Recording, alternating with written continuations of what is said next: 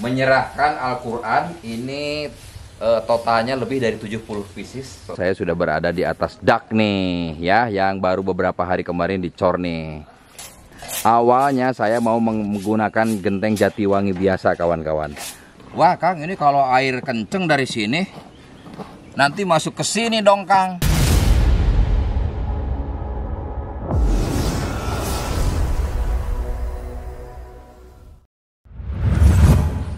Assalamualaikum warahmatullahi wabarakatuh. Berjumpa kembali di channel kesayangan kita semua Petualangan Alam Desaku. Eh, Kawan-kawan Setelah video kemarin terakhir mengenai kegiatan maulidan di pesantren Alisana Salafi Dan hari ini saya akan menginformasikan perkembangan eh, pembangunan masjid di pesantren tersebut kawan-kawan. Namun saya juga ini membawa Al-Quran nih ya Dari atas nama almarhum eh, Kahar Abdul Kahar bin Sapwan di Singapura. Ya seperti apa kita gaskan kawan-kawan ke lokasi. Uh, baiklah kawan-kawan, kita akan langsung ke pesantren Pak Kuleat. Wah, ini ngeluarin motor. Oh, motor dimasukin ke dalam begitu ya. Waduh. Motornya mana gaya ya si bapak. Walah, motor mahal ya mah. Waduh luar biasa kawan-kawan motornya. Wede. Nomor pada keluar ya Tadi iya pada agiling saya bapak hmm. Ternyata punya motor gahar ini. Eh Masya Allah Alhamdulillah. Ma damang punten? Kang damang punten? Ma damang ma. Alhamdulillahnya mohon. Mangga tuh abdi pada kak palihan pesantrennya. Ya. Mohon yang ningali. Assalamualaikum. Waalaikumsalam. Oke kawan-kawan, kita akan langsung gaskan ke pesantren. Ya, ternyata mekanisme pengangkutan Al-Qur'annya menggunakan motor. Nih, nah ini dia nih. Tadi ada beberapa santri yang mau jalan kaki tapi entahlah mungkin karena berat akhirnya pakai motor. Berat banget memang satu dusnya. Kang, ayo ada dua motor sebetulnya yang ngangkutin. Ah Assalamualaikum Pak Ustad. Alhamdulillah. Masya Allah. Alhamdulillah. Pak Ustad damang Pak Ustad. Alhamdulillah, Alhamdulillah. mohon. Menuju itu Kang. Iya. Pada pemasangan hebat. Eh Pak punten. Siga ayah hujan kan ini Pak Ustad? Uh agung oh. Agung Kang. Hujan teh. Nah, malam hujan, ya? Sabtu nak. Malam, eh, malam Sabtu. Sabtu malam Minggu. Malam Minggu. Oh. Eh ya. ini bekas-bekas uh, iya bekas-bekas aliran airnya kelihatan ini gitu uh, loh Pak Ustadz nih agung kan gede ya alhamdulillah mm -mm. Uh, terus sekalian itu ada bocor nggak Pak Ustadz Alhamdulillah enggak. Enggak ada ya. Eh, kebenaran gitu jadi bisa dites dari sekarang ya. diuji gitu. Ya. Kalau ada kebocoran kita akan ya, malam perbaiki. Senin, Kang, malam Senin. Ha, Pak Ustadz ini udah dicor ya? Udah. Ha, udah beres Kang. Ya. Jadi kemarin saya tidak bisa ngeliput pada saat pengecoran. Kebetulan sekali saya sedang memperbaiki drone di Jakarta. Gitu. Drone saya ada ngadat kawan-kawan. Lagi ada pemasangan hebel Kang di atas. Oh iya, oh iya ya. untuk ke atasnya ya. Oke baik Pak Ustadz. Nah, saya eh, lihat-lihat uh, dulu sebentar Pak Ustadz ya. Oh Pak Ustadz, uh, sebentar sebelum saya lihat-lihat, itu saya mungkin akan serah terima dulu Al-Quran. Oh mangga. Ah, ya, mari kita lihat Pak Ustadz dan mangga. itu ada kipas juga. Mangga. Nanti mungkin itu harus diperhatikan cara-caranya Pak Ustadz ya. Siap, mangga.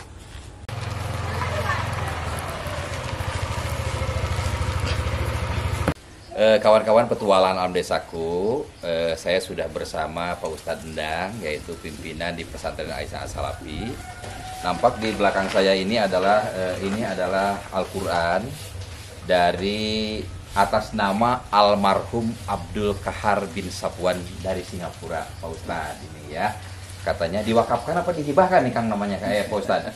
Diwakafkan? Dihibahkan, wakafkan boleh. Oh ya, kurang lebih seperti itulah Pak Ustadz ya. Diwakafkan untuk pesantren Alisan Asalafi. Alhamdulillah. Terima ya. kasih kan. Nah, jadi mungkin saya serah terimakan ya Pak Ustadz ya. Saya mungkin uh, mewakili donatur uh, dari almarhum Abdul Kahar bin Sapwan, Pak Ustadz ya. ya menyerahkan Al-Quran ini eh, totalnya lebih dari 70 pieces Pak Ustadz ya. Mudah-mudahan manfaat di sini dan mudah-mudahan pahalanya mengalir kepada almarhum eh, Ab- eh, Bapak Abdul Kahar bin Safwan di Singapura Ustadz. Terima kasih untuk beliau. Insya Allah ini dimanfaatkan untuk masyarakat dan santri. Amin. Amin. Ya Alamin ya. Pak Ustadz, terus ini Pak Ustadz ada ini ya. Nah, ini nih. Nah, kalau ini ini adalah eh, kipas angin. Nah, itu Pak Ustadz, kipas angin ini yang saya kemarin diburu di Bandung. Ya. Jadi saya berburu kipas angin di Bandung nih kawan-kawan ya dan alhamdulillah dapat. Ini satunya harganya itu dua juta sembilan ratus sembilan puluh sembilan ribu. Tiga juta kurang seribu Pak Ustadz. Ya, kalau saya pikir-pikir harganya sama dengan AC Pak Ustadz sebetulnya itu ya. Nah Pak Ustadz maksud saya dibawa ke sini ini satu. Ini sebagai sampel nanti sekarang kita kan akan memulai untuk setting-setting eh, pelapon, setting-setting listrik Pak Ustadz. Ya, nah ini saya tadi baru bangun tidur pagi ini Pak Ustadz. Saya agak terkejut. Waduh saya bilang ini kipas ini harus menggunakan eh, tombol yang ada di tembok Pak Ustadz. Berarti kita harus membobok eh, tembok lagi. Boleh, kan? Ah, tapi ternyata Pak Ustadz setelah saya pelajari ternyata ini alhamdulillah tidak. Jadi ditarik aja Pak Ustadz. Tarik. Gitu loh. Nah, nanti Pak Ustadz gini itu kipas angin. Nanti malam bisa dirangkai di sini, Pak Ustadz ya. Tapi Pak Ustadz hati-hati itu ada eh, belingnya. Nah, Pak Ustadz yang ini nih. Nah, yang ini nih. Ah, ini hati-hati Pak Ustadz nih ya, yang ini nih. Hati-hati ya. Selanjutnya Pak Ustadz, kalau memang nanti tidak bisa, jangan dipaksakan Pak Ustadz. Oh iya. Ya. Untuk merakitnya. Ja- ah, jangan. Nanti saya akan datangkan teknik khusus. Ya. Nah, gitu Pak Ustadz ya. Ah, jadi maksudnya dirakit itu eh, supaya kita bisa eh, melihat akan di mana ini disimpan, ya. Terus apa-apa aja kebutuhannya untuk instalasi eh, kipas angin ini. Apakah harus ada bobok tembok atau tidak? Kalau ada, maka kita akan lakukan sedari sekarang Pak Ustadz. Heeh, jadi supaya nanti semuanya rapi Pak Ustadz ya. Oke, mungkin itu aja Pak Ustadz dan saya titip Pak Ustadz satu dulu ya. Ya. Nanti selanjutnya akan saya bawa semua ke sini Pak Ustadz. Oke. Baiklah Pak Ustadz, kalau gitu sekarang saya akan review pesantren, eh pesantren, masjid Pak Ustadz. oh ini masih masih datang satu dus lagi. Ya. Ya ya ya ya ya. Ini lebih dari 70 pieces kawan-kawan. Alhamdulillah ini semen roda kelihatan eh semen roda semen tiga roda masih 1 2 3 4 5 hampir kurang lebih eh, 11 itu lagi ya 11 sak lagi.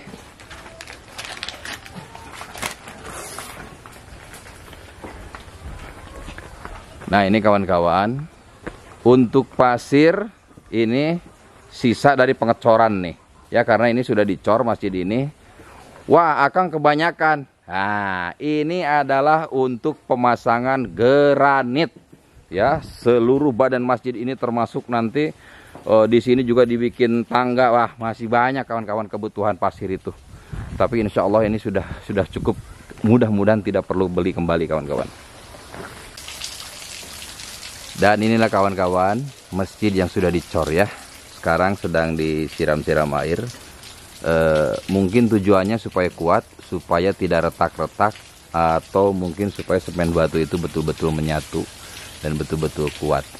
Nah, silakan para desainer konstruk konstruksi, para kontraktor eh, untuk komen mengapa eh, dakan ini pakai air. Ya, oke. Sekarang kita akan coba naik ke atas, kawan-kawan seperti apa. Ya, kita gaskeun kawan-kawan.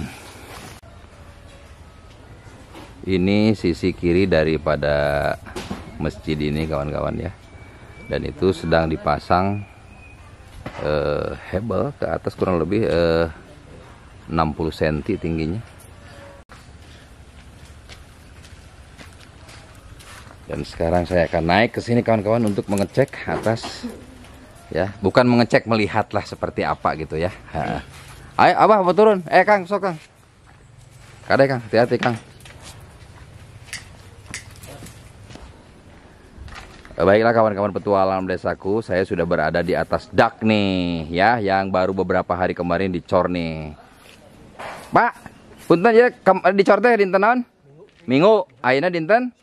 Salasa ini teh berarti tos eh dua hari belah dah ini mah pagi kene.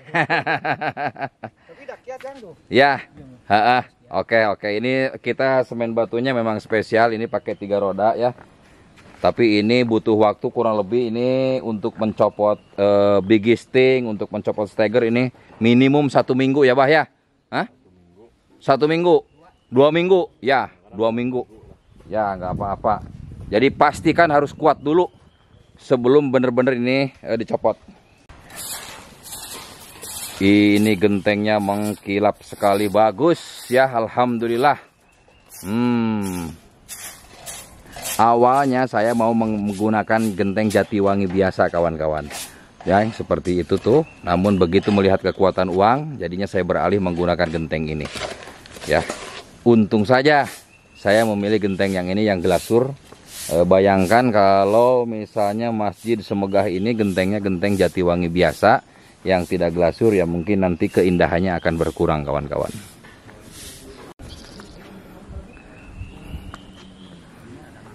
Ini nanti akan ditangguh di sini ya atau ada sebuah lispang lah ya nanti akan itu direlip ya dan ini tingginya eh, 3 hebel kawan-kawan. Ini baru dua jadi kurang lebih sampai dengan eh, ini nih tingginya nih. Nah ini ada bola ini nih ada benang nih ya sampai setinggi ini. Nah jadi alhamdulillah lah. Uh, mungkin dari kawan-kawan ada yang bertanya, wah Kang ini kalau air kenceng dari sini nanti masuk ke sini dong Kang, masuk ke sini. Nah, jadi di dalam sini tuh udah dibuat tanggul kawan-kawan. Ya di dalam sini nih. Jadi event air ke sana itu nggak bakalan masuk ke sana. Jadi air akan lari ke sana kawan-kawan. Ya akan ke bawah. Dan ini kemiringannya juga ini udah diper, udah diperhitungkan. Jadi sebisa mungkin ini tidak boleh ada air yang mengendang di sini. Jadi air begitu turun dari genteng, ini udah langsung pur ke sana. Gitu loh ya. Dan even nanti ada angin gede ke sana, saya sekali lagi di sini udah ada tanggul kawan-kawan cukup tinggi. Seputarannya ke sana. Nah, kalau untuk yang depan yang ada tanggul ini untuk lispang nanti untuk uh, relief depan ya. Ini air turun dari sini kawan-kawan. Itu nanti akan dibolongin juga. Jadi di sana ada pipa turun ke bawah tapi itu juga nanti akan dibolongin ke sana ya mungkin tingginya itu tinggi bolongannya sekitar 5 cm 5 cm tingginya supaya bolongnya itu nggak kelihatan dari bawah namun air misalnya kalau debit airnya kencang dari sini kawan-kawan nih itu tidak tertampung oleh pralon yang ditanam itu dia akan lepas ke sana push gitu loh. Ya dan itu dibuat beberapa e, bolongan tuh sampai ke sana. Ya betul Pak Ustadz. Nah di situ jadi kalau tidak tertampung oleh pralon, dia akan lari ke sana. Ya, dan itu sudah diperhitungkan sematang mungkin sebelum uh, dibuat ini. Dan ini banyak ke sini kawan-kawan nih. Tuh, jadi insya Allah di sini tidak ada akan air yang menggenang di sini ya. Tuh, ya ada beberapa tuh sampai ke sana. Nah ini nih. Nah ini nih ya. Nah bolongan ini nanti dari bawah itu nggak kelihatan kawan-kawan karena bolongnya itu tingginya kurang lebih 5 cm. Uh, ya. Alhamdulillah, alhamdulillah.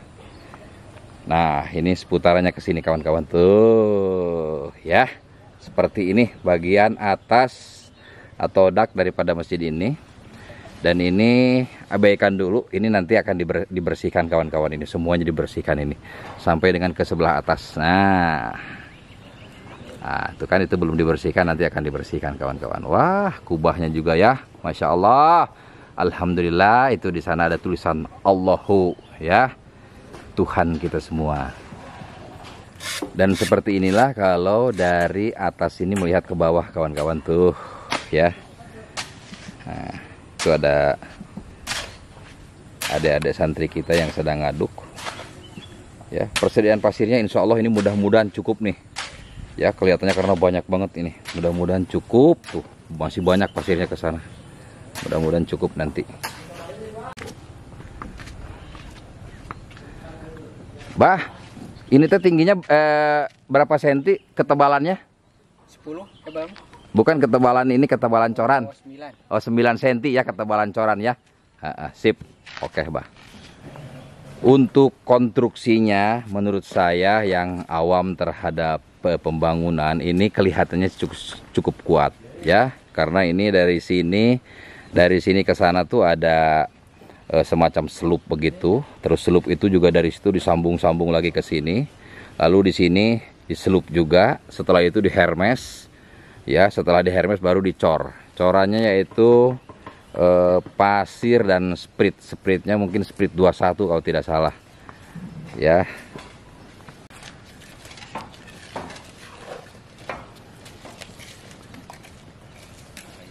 Nah ini nanti kawan-kawan ada lagi lisplang nih ya di lisplang ini belum di lisplang jadi masih kelihatan eh, kerenggangannya kelihatan agak tinggi. Nah nanti setelah di lisplang eh, kelihatan agak lebih rapat dan itu meskipun ada hujan angin insya Allah akan tertahan oleh lisplang tersebut kawan-kawan ya. Jadi ini akan aman insya Allah ya bagian eh, daripada eh, kerucut bangunan ini.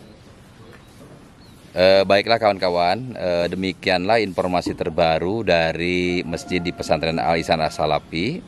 Eh, dak ini sudah dicor ya dan sekarang saya akan turun bersama Pak Ustadz Endang dan mungkin eh, bersama si Akang Odang. Ondang. Ondang ya untuk mengecek eh, keseluruhan dari masjid ini, terutama dari kelistrikan kawan-kawan. Ya jangan sampai nanti sekali lagi ada kabel yang kelewer-kelewer akibat eh, kita kelupaan atau ya, keteledoran kita gitu lah. Jadi kita akan cek ya Pak Ustadz ya Iya. sebelum benar-benar kita finishing kawan-kawan. Iya.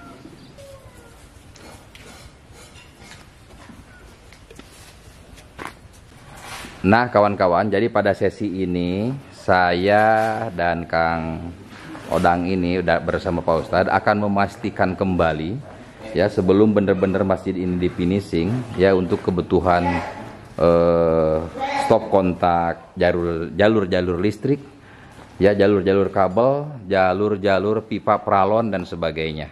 Jadi kita akan periksa eh, bersama Pak Ustadz dan Kang Odang nih ya. Mm-mm. Gimana Kang? Jadi nah eh, Kang Kang Odang itu kan ada kipas angin ya. Eh, coba nanti Kang Odang kalau bisa kipas angin itu dirakit Kang. Ya. Nah, itu cara menyalakannya apakah ditarik eh, pakai rantai ya ada keliwir-keliwirnya atau dia harus ada stop kontak yang harus mem- eh, apa namanya disimpan di tembok. Nah kalau ada stop kontak yang disimpan di tembok, nah saya kan nggak kepikiran tuh. Jadi harus bobok dari sekarang, Pak Ustadz maksudnya. Gitu, jangan sampai nanti udah udah di plafon udah mau dicat bobok-bobok lagi gitu loh ya.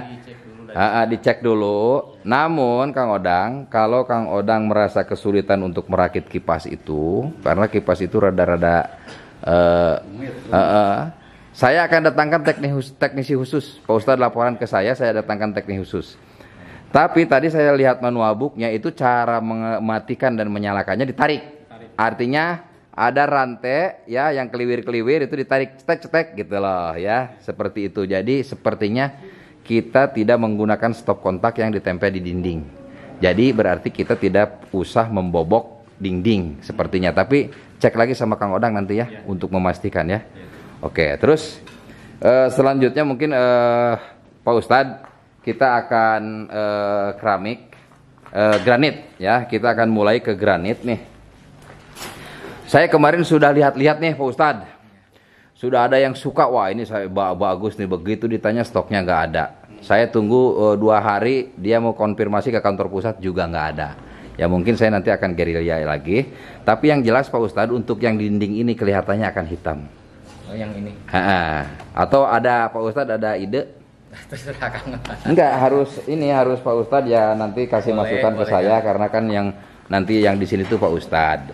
Ya tapi kalau untuk bawah itu agak kecoklatan eh, polos Ya.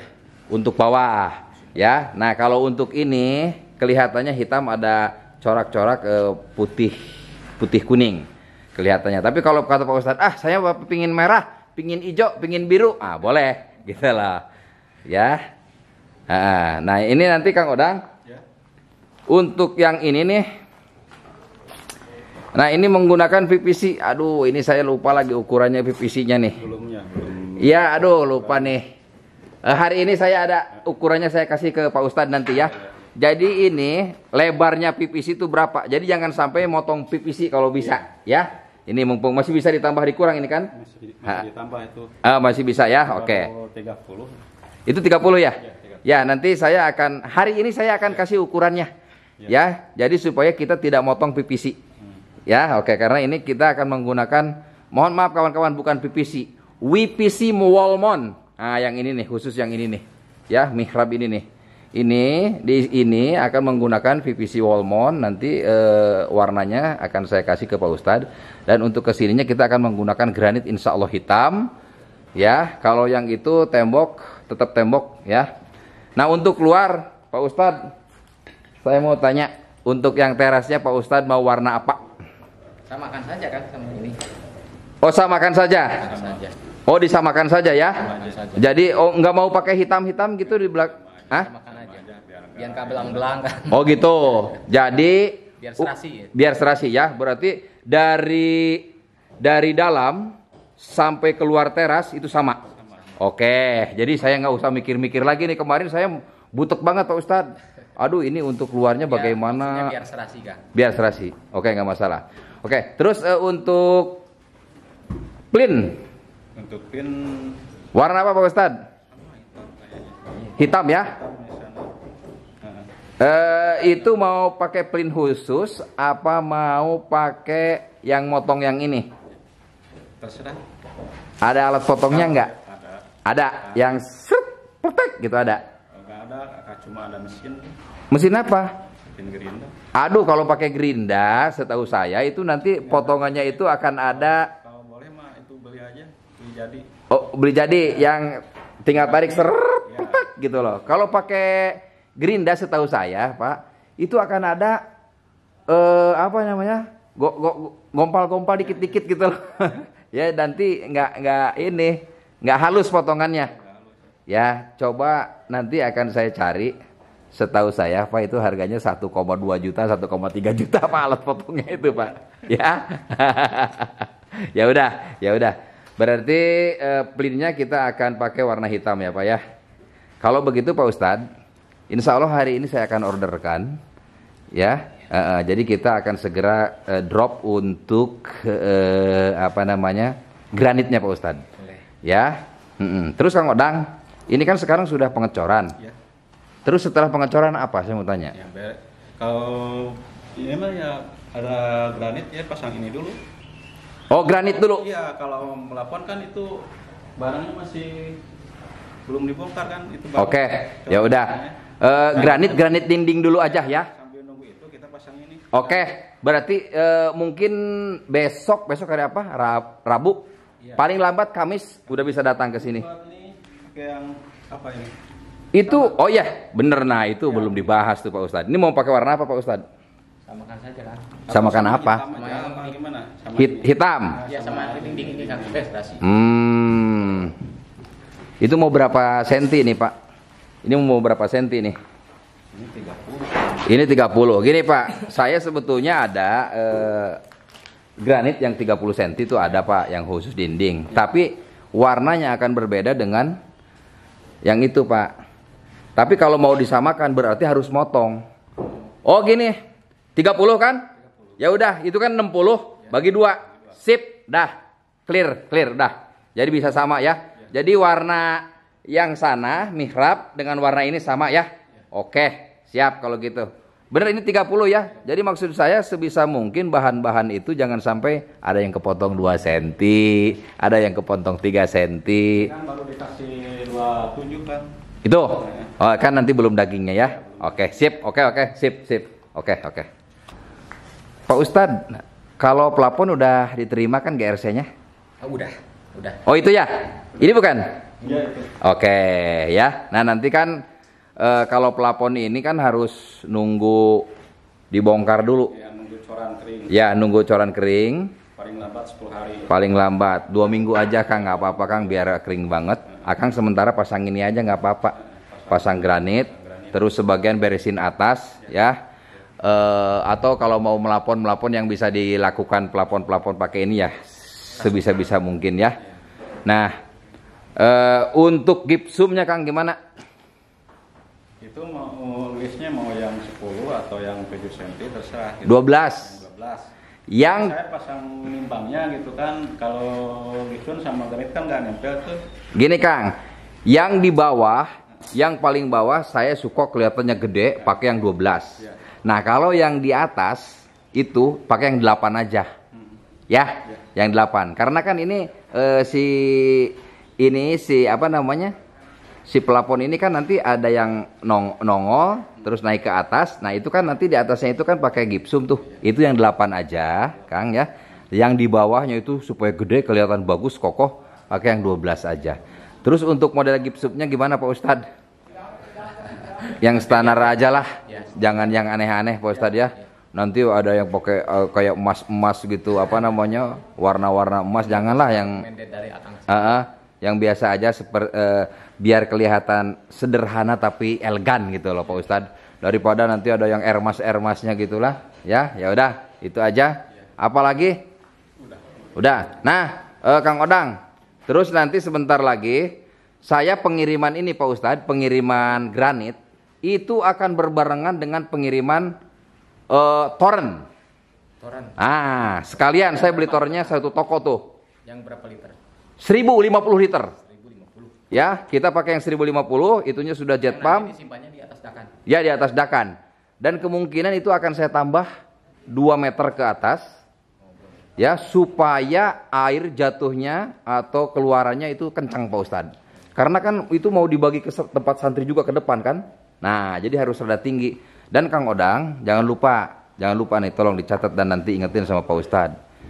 Semua pipa yang turunannya nanti yang outputnya itu harus menggunakan pipa satu inci. Ha, nanti begitu masuk ke keran baru ditambah pakai eh plok ya. Ha, plok sok namanya apa? Ah, plok sok ke keran setengah. Jadi semuanya Kang yang satuin aja supaya airnya kencengnya pop gitu loh. Jadi deres. Jangan sampai mau wudhu airnya aja kinin kinin alah. Ya. Oke, oke. Itu aja mungkin. Ada tambahan lagi Pak Ustadz? Cukup dulu? Oke, cukup dulu ya. Eh, baiklah kawan-kawan petualangan alam desaku, demikianlah koordinasi menit-menit eh, sebelum ini benar-benar di finishing. Karena saya tidak mau nanti di pertengahan pada saat finishing itu ada eh, pembobokan akibat eh, keteledoran kita semua kawan-kawan. Untuk itu saya tadi dan tim memastikan kebutuhan untuk saklar listrik, kebutuhan untuk peralon ke mana aja jalurnya, kebutuhan kabel, kebutuhan kaca, kebutuhan granit. Dan hari ini saya akan berbelanja granit, lalu belanja toren, lalu saya akan berbelanja eh, kaca juga dan kebutuhan-kebutuhan lainnya. Dan eh, insya Allah mungkin hari ini kelihatannya akan keluar uang sangat besar sekali kawan-kawan ya. Karena untuk keramik eh, untuk granit ini itu eh, kurang lebih di atas 100 dus kawan-kawan ya. Eh, mohon doanya mudah-mudahan eh, ini semua berjalan lancar budget tidak kurang eh, sehat semuanya dan sekali lagi beribu terima kasih untuk seluruh donatur petualangan desaku. Semoga selalu dalam keberkahan lancar segala urusannya sehat selalu panjang umur. Amin amin. Ya Allah ya alamin. Wabillahi taufiq wa hidayah. Wassalamualaikum warahmatullahi wabarakatuh